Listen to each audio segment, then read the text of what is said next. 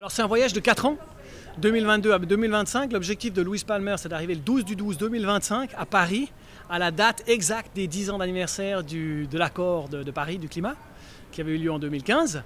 Et cette année, donc c'est la première année, c'est l'Europe, c'est une trentaine de pays, c'est 25 000 km.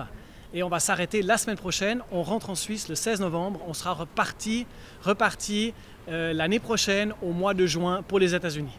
Donc, comment on fait 200 000 km pendant les 4 ans à la recherche des pionniers climatiques Louis Palmer, l'initiateur, a dit on veut rouler ces 200 000 km CO2 neutre, zéro émission. Comment est-ce qu'on fait ça En mettant des panneaux solaires sur le papillon qui recharge la voiture qui tire le papillon. On est la première région en France en termes de puissance photovoltaïque installée.